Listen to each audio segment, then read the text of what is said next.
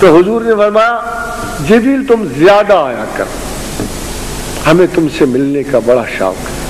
فرمایا، یا رسول اللہ، جیسے آپ پابند الہی ہے میں بھی پابند الہی میں اللہ کی مرضی کے بغیر ہل بھی نہیں سکتا۔ جیسے آپ سے کوئی عمل سرزد نہیں ہو سکتا خدا کی مرضی کے بغیر، میں بھی خدا کی مرضی سے آتا جاتا ہوں۔ میں کسی اور چیز کا مجھ پہ کوئی آرڈر یا خواہش کا تسلط نہیں۔ تو اسی طرح ایک دفعہ حضور نے جب کھجور کے معاملے میں بظاہر لگا کہ خطا کی اور لوگوں کا خیال یہ کہ رسول کو پتا نہیں تھا کہ کھجور کی یہ فصل کیسی، تو خدا کی قسم اتنا بڑا اصول رسول اللہ نے اس مسلم معاشرے کو بخشا کہ پیروں فقیروں کی دعاؤں پر اپنے ٹیکنیکل پروجیکٹس کو تعینہ کیا کر رسول اللہ نے اس خطا میں شریک ہو کر آپ تک ایک میسج پہنچایا کہ انسانی زندگی اور تجربہ کو کبھی آؤٹ لک نہ کرو۔ اگر ایک چیز ہزاروں سالوں سے تمہارے تجربے میں چلی آ رہی ہے، تو ایک پیر کی دعا نہ لو کہ وہ تجربہ الٹ جائے۔ ورنہ تمام علوم و فنون پھر غلط ہو جائیں گے۔ اور کسی وقت بھی کوئی موجزاتی کرشمے کی تلاش میں ساری دنیا رہ جائے گی، جیسے آج پوری کی پوری قوم ہر چیز پہ معجزے کا گمان کرتے حالانکہ حالات تو وہی ہیں جو پہلے تھے۔ سو اب بھی ہم تو کردار و اخلاق میں ویسے ہی ہیں جیسے پہلے تھے۔ تو اسی طرح تمام معاملات میں جو بظاہر آپ کو رسول اللہ صلی اللہ علیہ وسلم کی ہلکی پھلکی جو آپ کو لگتی ہے ڈیویشن لگتی ہے، وہ ڈیویشن نہیں ہے۔ فار ایگزامپل رسول اللہ وہ بات آپ کو کیوں غائب کی بتائیں گے؟ وہ بات کیوں غائب کی بتائیں گے؟ جس بات کے بتانے سے آپ کو یہ گمان ہو کہ اللہ سے آزاد بھی کوئی غائب ہے۔ اللہ سے آزاد کوئی غائب نہیں۔ اور خدا وند کریم کے رسول اتنا ہی آپ کو ٹوٹلی کنٹرول شخص کے منہ سے کیا بات نکلے گی؟ کیا بات نکلی گی جو اللہ کے بغیر نکلے گی؟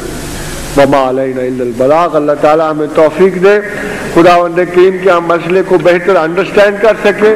اور میں آپ کا شکر گزار ہوں، نماز کا وقت ہے اور جا رہا۔ تو حضرات ویلکم بیک اینڈ بس آپ سے ایک استدار کرنی ہے۔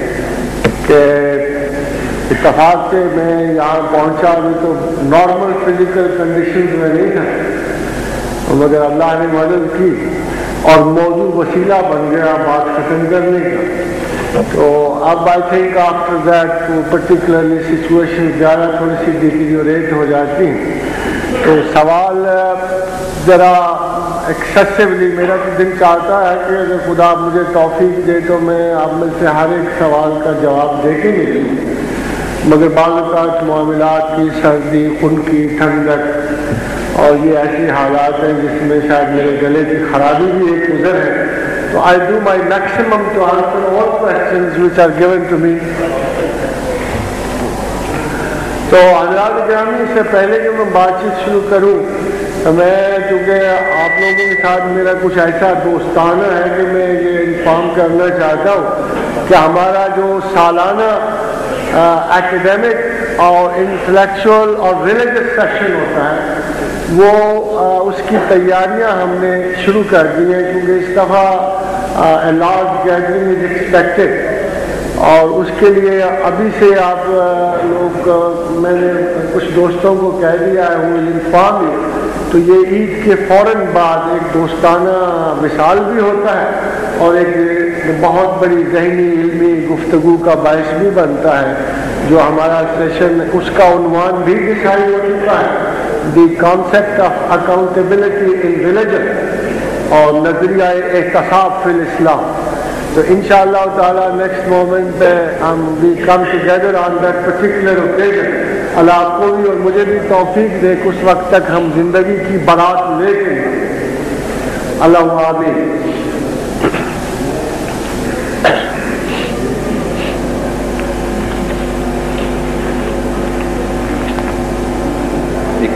عمران صاحب ہیں، انہوں نے ایک، آپ کی اجازت ہے سر اس بات میں کہتا ہوں تھوڑی سی۔ یہ کہتے ہیں کہ مسلمانوں کا role of Muslim throughout the history has only been philosophical and in the field of فقہ مسلمانوں کا تاریخ میں جو رول رہا ہے وہ صرف فلسفے یا فقہ تک محدود رہا ہے اور آج کے دور میں یہ صرف فتنے تک پہنچے ہیں۔ ایسا کیوں؟ تو ڈاکٹر صاحب سے چھوٹی سی ایک عرض کر دوں۔ مسلمانوں کا رول کبھی بھی تاریخ میں فلسفے اور فقہ تک محدود نہیں رہا۔ ایک تو یہ انڈرسٹینڈنگ اپنی کریکٹ کر لیں۔ اس کی چھوٹی سی مثال یوں دیکھیں کہ اگر گریس، گریکس نے جو لائبریری بنائی جہاں سے مسلمانوں نے بہت علم حاصل کیا، الیگزینڈریا، اس کے ختم ہونے کے بعد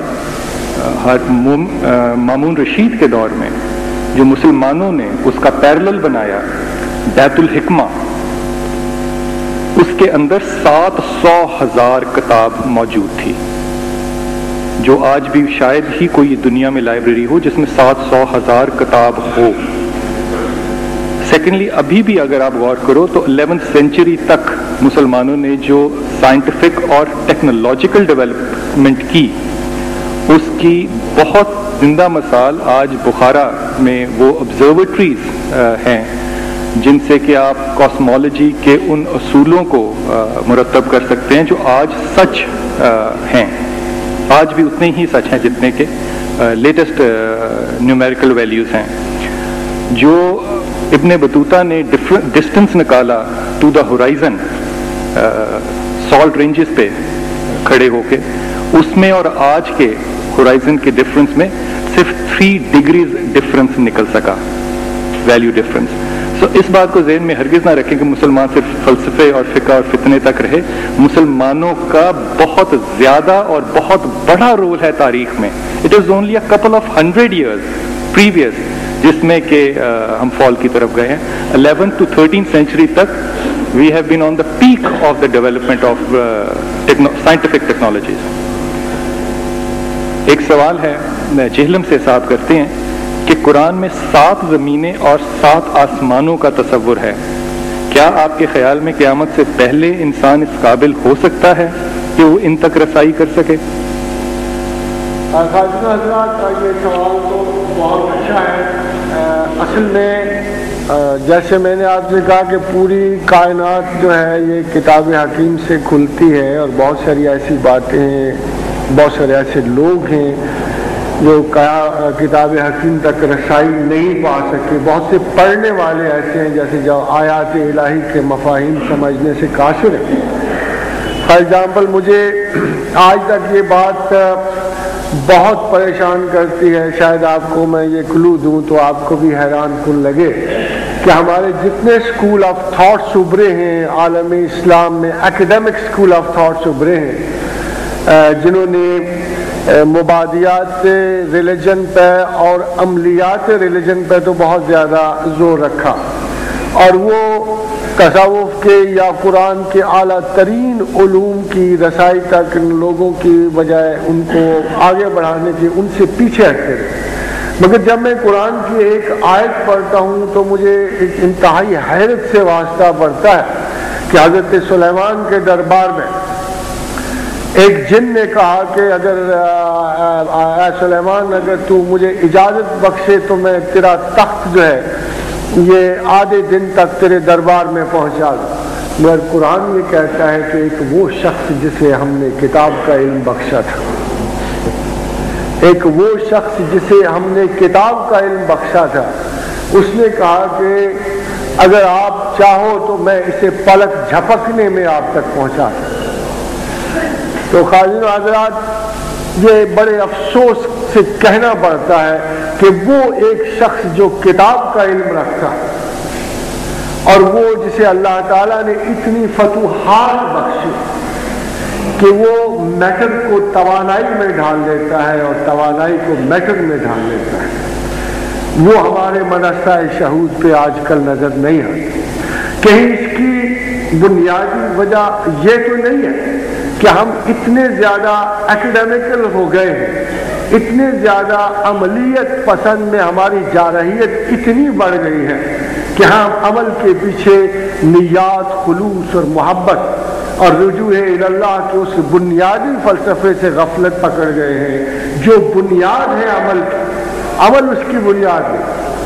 بلکہ نیات، بنیاد ہے اعمال کی۔ ان نول اعمال و بنیاد اور رسول اللہ صلی اللہ علیہ وسلم نے ارشاد فرمایا کہ جب کسی کام کے بارے میں تمہیں شبہ ہو کہ یہ اچھا ہے، برا ہے، تو اسے دل پہ رکھو۔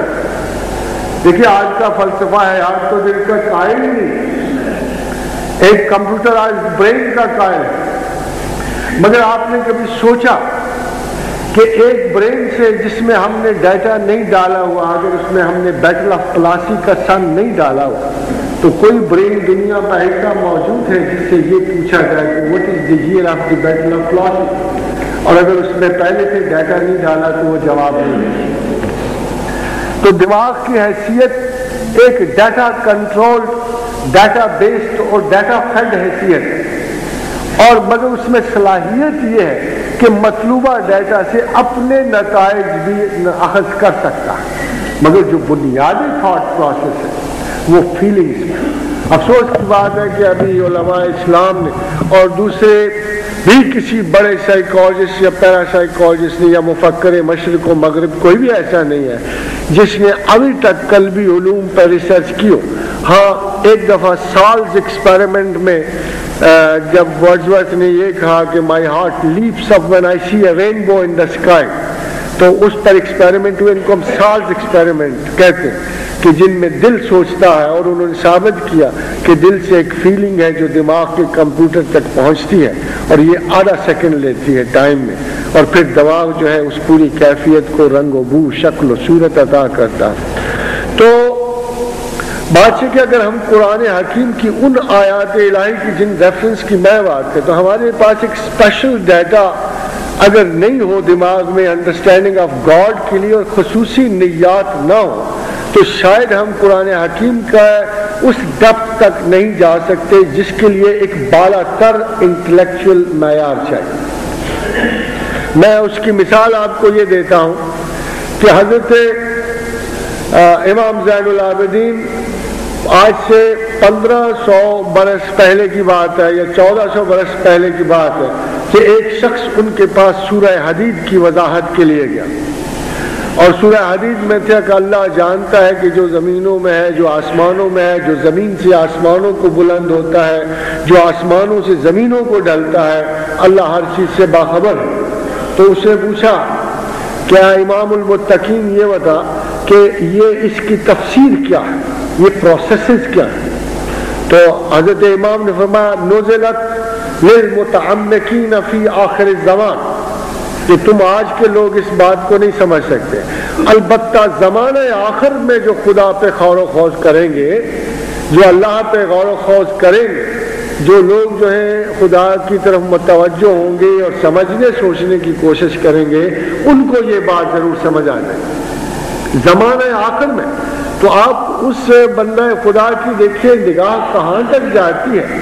کہ ہی نیو ویری ویل کہ زمانہ آخر میں ایک اسکائی لیب آسمان سے گزرتے ہوئے زمین کی چونٹی کی خبر لے گی۔ اس بندے کی نگاہ میں یہ تھا کہ اتنی ترقی پذیری ہو جائے گی کہ یہ زمین کے اندر کی خبریں اور اوپر کی خبریں کوئی موجودانہ کام نہیں سمجھا جائے۔ جس سائنٹیفک انسٹرومنٹس میں محیط ہو جائیں گے۔ تو ہم لوگوں کو آج کوئی تعجب نہیں ہے کہ اللہ زمین کی بات کیسے سنتا ہے اور آسمانوں کی بات کیونکہ ہمارے سامنے انڈیویجول سطح کے وہ انسٹرومنٹس آ چکے ہیں۔ اگر انسان اسی حکمت غالبہ سے جو اللہ نے اسے عطا کی اتنی ڈیلیکیسیز تخلیق کر سکتا ہے تو اللہ تو اللہ ہی ہے۔ اس کی تو بات ہی کرنا محال ہے۔ تو یہ جو قرآن کی آیات ہے زندگی اور آسمان اور دنیا اس وقت تک ہے جب تک کہ قرآن کی تمام آیات کا اسبات نہیں ہو جاتا۔ یہ سمجھنے کی باتوں میں جو آپ سے کر رہا ہوں، ہم لوگ یہ سمجھتے ہیں کہ ہماری پروگریسز ہماری انٹلیکچوئل مگر قرآن حکیم میں ابتدائے کائنات دی ہوئی ہے اور انجام اس دنیا کا، ابتدا دونوں دی ہوئی بٹوین دیز ڈسٹینسز اللہ تعالیٰ نے قرآن حکیم میں جو کچھ بھی انسان نے اچیو کرنا ہے، وہ مینشن کر دیا۔